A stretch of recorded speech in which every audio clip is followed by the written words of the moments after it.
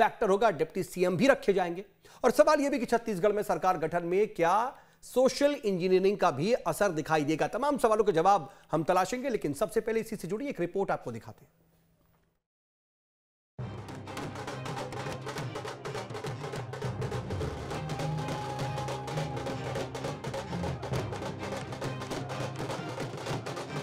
छत्तीसगढ़ में 3 दिसंबर को नतीजे आने के बाद से बात पर बहस जारी है कि विधानसभा की 90 में से चौवन सीटें हासिल करने वाली भारतीय जनता पार्टी आखिर राज्य की कमान किस नेता को सौंपेगी? बीजेपी के कई नेता मानकर चल रहे हैं कि केंद्रीय नेतृत्व किसी नए चेहरे को मुख्यमंत्री बना सकता है। बीजेपी के प्रदेश प्रभारी ओम माथुर चुनाव के दौरान ही कह चुके हैं कि पार्टी जिसे मुख्यमंत्री बनाएगी, उसके बारे में किसी ने सोचा भी नहीं होगा। फ़िलहाल जो खबर है उसके मुताबिक पर्यवेक्षकों की उपस्थिति में रायपुर में विधायक दल की बैठक में नए मुख्यमंत्री की घोषणा की जा सकती है। बीजेपी के सूत्रों का कहना है कि मुख्यमंत्री के अलावा इस बार राज्य में दो डिप्टी सीएम भी बनाए जा सकते हैं। इस बीच छत्तीसगढ़ में विधानसभा चुनाव लड़ने वाले चार सांसदों में से तीन ने लोकसभा की सदस्यता से इस्तीफा दे दिया है। इस्तीफा देने वालों में जशपुर लोकसभा सीट से सांसद गोमती साई ने इस्तीफा दे दिया है। गोमती साई पत्थल गाँव से विधायक चुन ली गई हैं। इसी तरह सरगुजा से सांसद रेणुका सिंह ने भरतपुर सोनहत सीट से जीत के बाद लोकसभा की सदस्यता छोड़ दी है। वहीं बिलासपुर से सांसद अरुण साव ने लोरमी से विधानसभा चुनाव जीतने के बाद लोकसभा की सदस्यता से इस्तीफा दे दिया है। हालाँकि इस बार दुर्ग सांसद विजय बघेल भी पाटन से भूपेश बघेल के खिलाफ मैदान में थे, लेकिन विजय बघेल विधानसभा चुनाव हार गए हैं, इसलिए अब चर्चा बाकी तीन सांसदों की हो रही है, जिनमें ओबीसी कोटे से अरुण साव और एसटी कोटे से रेणुका सिंह का नाम सबसे अहम है।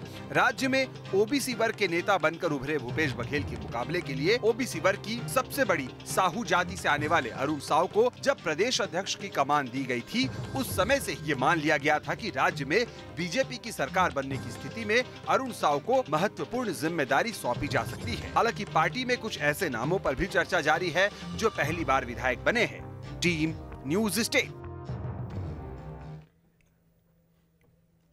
वैसे तो बीजेपी ने तीन राज्यों में बहुत बड़ा बहुमत हासिल किया है, राजस्थान, मध्य प्रदेश और छत्तीसगढ़।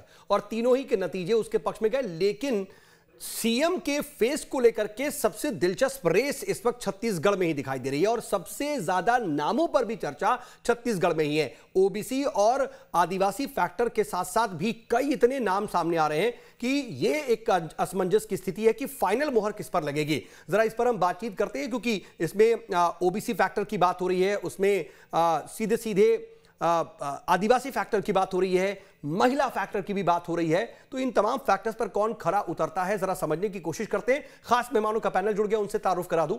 मेरे साथ तीन खास मेहमान हैं, विकास मरकाम जी हैं, जो कि बीजेपी एसटी मोर्चा के अध्यक्ष हैं। विकास मरकाम जी, बहुत स्वागत आपका। इसके अलावा कांग्रेस का पक्ष रखने के लिए प्रवक्ता नीता लोधी जी मौजूद है। नीता जी, आपका भी बहुत स्वागत है। और इसके अलावा मेरे साथ वरिष्ठ पत्रकार और पॉलिटिकल एनालिस्ट हैं के के शर्मा जी, वो भी मौजूद है। के के शर्मा सर, आपका भी बहुत स्वागत है। मैं राजनीतिक मेहमानों के पास जाऊँ, उससे पहले के के शर्मा जी, आप ही से समझना चाहूँगा कि बड़े फैक्टर्स की बात हो रही है, लेकिन हमने इस बीच देखा है कि महिला वोटरों का वर्चस्व लगातार बढ़ता जा रहा है। उसके अलावा हम ये भी देख रहे हैं, बीते कुछ चुनावों में कि ओबी जो आदिवासी समाज है, वो काफ़ी ज़्यादा जुड़ाव कहीं ना कहीं बीजेपी की तरफ़ उसका देखा जा रहा है, झुकाव देखा जा रहा है इंटैक्ट हो रहा है। उसके अलावा अपने अपने जो चेहरे हैं, उनके दम को, उनके 2024 के हिसाब से फैक्टर को भी देखा जा रहा है कि सभी सीटें कौन जिता करके लाएगा। डिज़ायर डिजायरेबल कौन है? ये जो तमाम फैक्टर्स है, उसमें सबसे बेहतर कौन दिख रहा है आपको? देखिए तमाम सोशल इंजीनियरिंग का भी मामला आता है। दूसरा है कुशल नेतृत्व प्रशासनिक क्षमता लोकप्रियता। जनता में लोकप्रियता भी होना चाहिए। पार्टी संगठन में यदि किसी को चुनते हैं तो पार्टी हिट के लेकिन ये जनता के बीच जाने वाले सीएम है तो इनकी लोकप्रियता हम्म। कितनी है? उनकी प्रशासनिक क्षमता है कि नहीं है?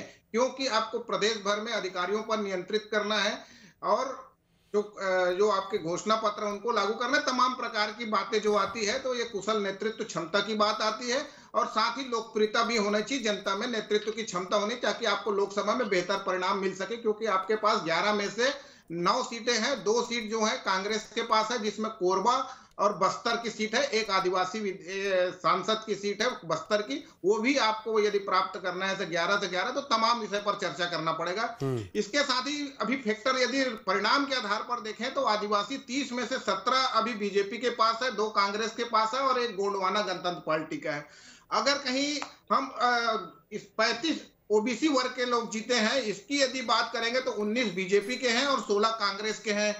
अब इनको, स्थिति को देखेंगे, इसके साथ ही जो एससी वर्ग की भी बात कर देते हैं, जानकारी के लिए कि छह और चार, कांग्रेस के छह ज़्यादा जीत के आए और चार बीजेपी के दस में से। अब ये स्थिति को यदि देखेंगे तो क्षमता की दृष्टि से अरुण साव को निश्चित रूप से बार बार वही बात आ रही है कि वो उनको प्रदेशाध्यक्ष सांसद हम्म। रहते हुए एक बड़ी ज़िम्मेदारी दी गई थी रमन सिंह की तरह 2003 में जिसको जिस तरह से ज़िम्मेदारी थी वो उन उस समय भाजपा ने उनको यहाँ पे सीएम की ज़िम्मेदारी दी थी रमन सिंह को 2003 क्या उसी तरह से अरुण साव को ज़िम्मेदारी दी जाएगी?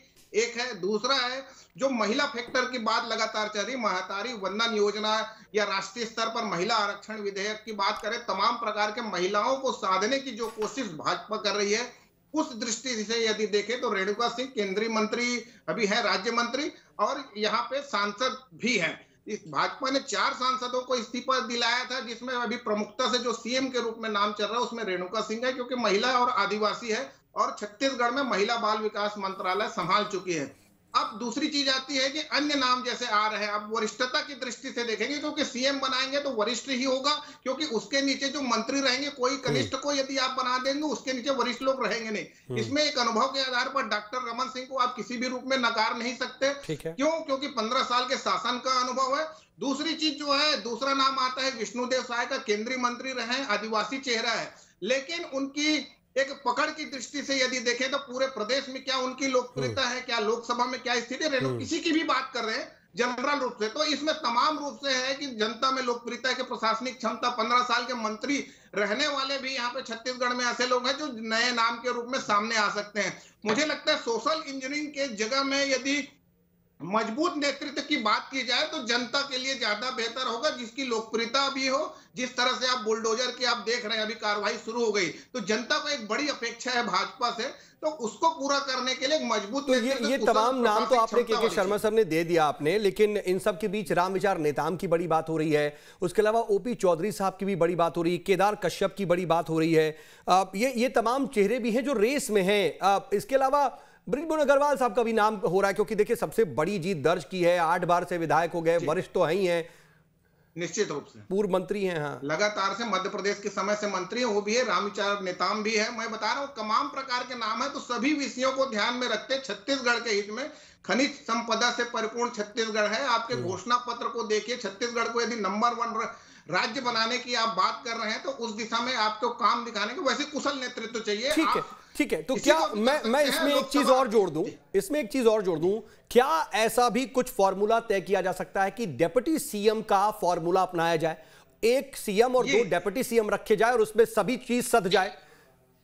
निश्चित रूप से ये बड़ी बात है यदि आप सरगुजा को देखिए सरगुजा में पिछले समय 2018 में एक बात आई थी कि 14 के 14 सीट टीएस सिंहदेव के नाम से जीत के हम्म। लोगों ने दी है क्योंकि हमारा सीएम बनने वाला है। लेकिन वैसा हुआ नहीं जिसका अभी भी कांग्रेस के पूरी सीटें समाप्त हो गई और भाजपा की झोली में जनता ने डाल दिया कि चौदह के चौदह सीट। इसलिए सरगुजा के नेताओं का नाम ज़्यादा चल रहा है। हम्म। जब भले ही रेणुका सिंह कोरबा लोकसभा क्षेत्र के में जाके चुनाव लड़ी है भरतपुर सोनाट से लेकिन वो एक सरगुजा माना जाता है। सरगुजा और रायगढ़ के दोनों सांसद गोमती साय और रेणुका सिंह जीत के आई हैं। और उसके साथ ही वहाँ पे विष्णुदेव साय जो रायगढ़ से चुनाव लड़े थे उनकी जगह पे इनको चुनाव लड़ाया गया था। क्या बोलते हैं और नहीं सर एक चीज़ तो और मैं एक चीज़ और समझू क्या? एक चीज़ और क्योंकि बड़ा दिलचस्प ये पॉइंट नज़र आता है मुझे कि हमने देखा पिछली आपने खुद कहा ना कि टी एस सिंहदेव के नाम पर पिछली बार चौदह के चौदह सीटें उनको दे दी गई थी कांग्रेस के पास गई।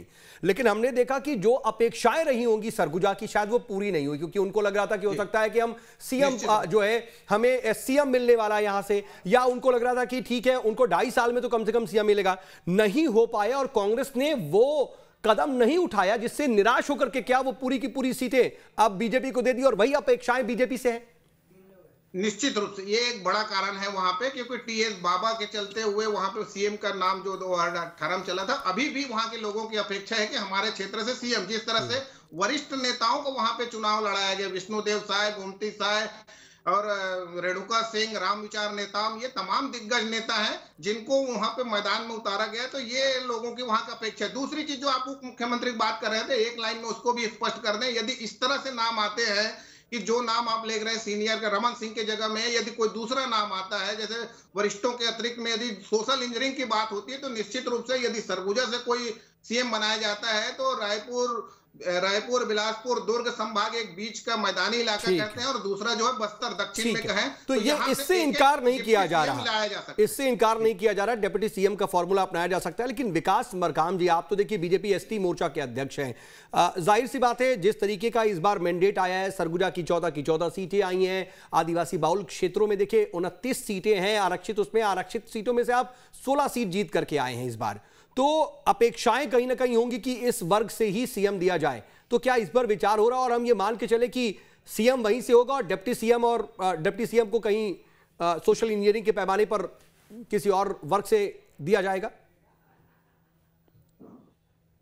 देखिए, प्रदेश में मुख्यमंत्री कौन बनेगा?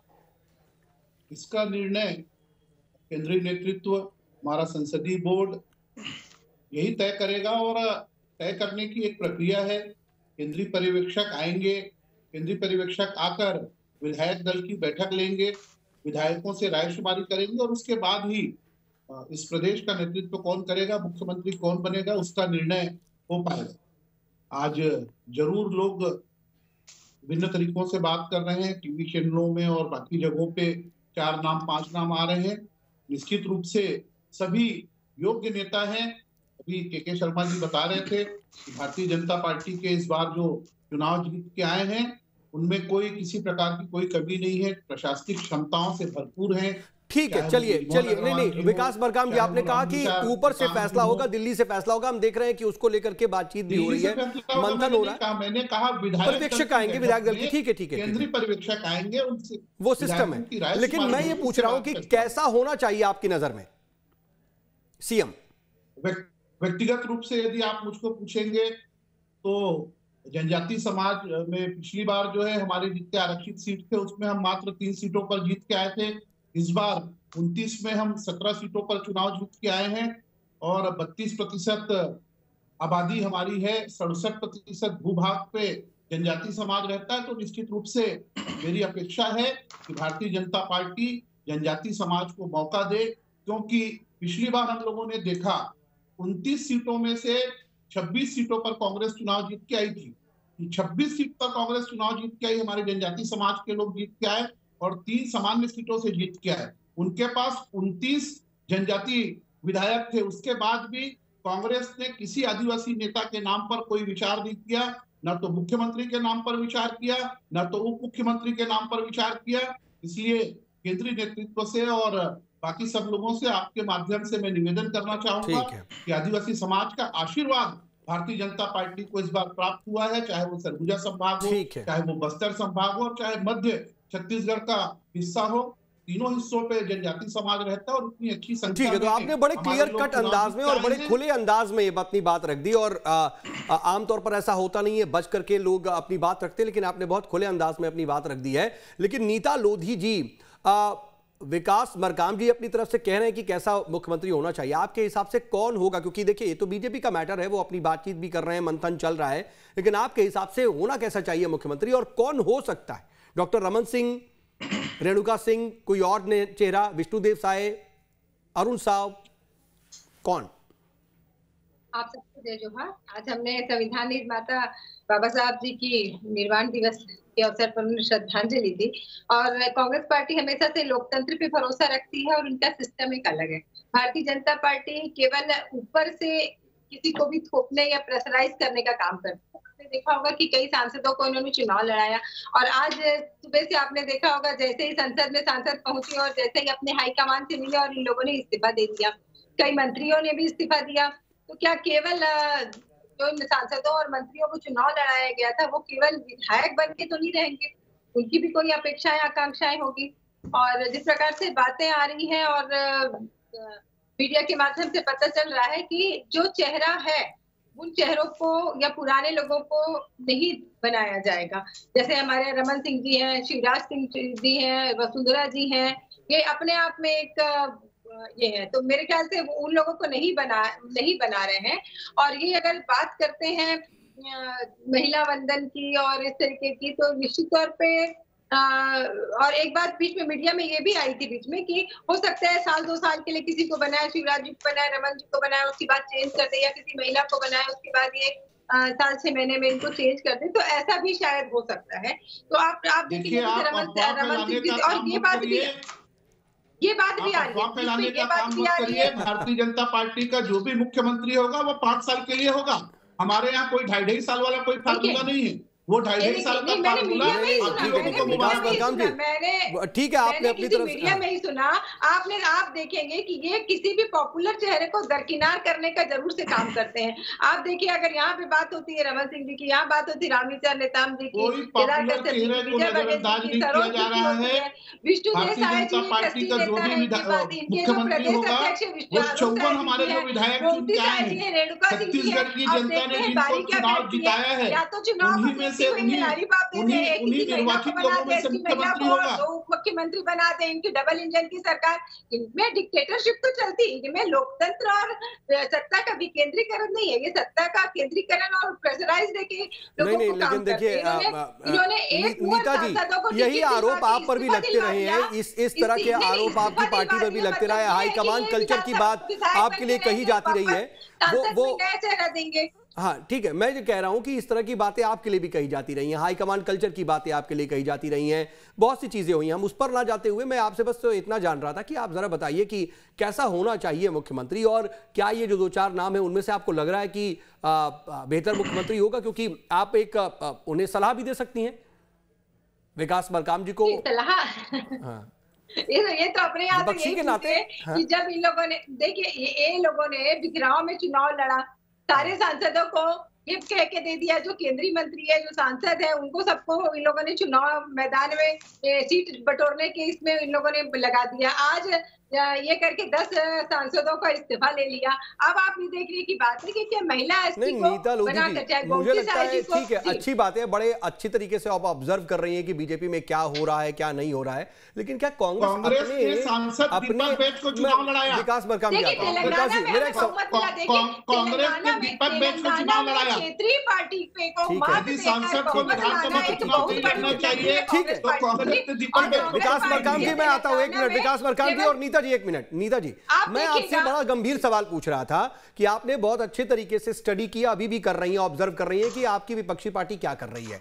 बीजेपी में क्या हो रहा है? लेकिन क्या अभी लगता नहीं है कि आपको आत्मंथन करना चाहिए? इस वक्त कांग्रेस को यह देखना चाहिए कि क्या ऐसी गलती होगी और अभी हम बातचीत ही कर रहे थे। सरगुजा की अगर चौदह सीटें आपके पास पहले की तरह रह जाती तो कितना नंबर होता? उनचास नंबर होता। पैंतीस में चौदह जोड़ दीजिए फोर्टी नाइन।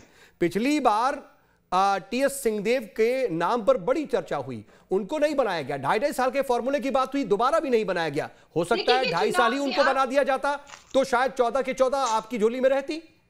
तो ये कमियों पर और खामियों पर क्या इस वक्त आपको मंथन नहीं करना चाहिए?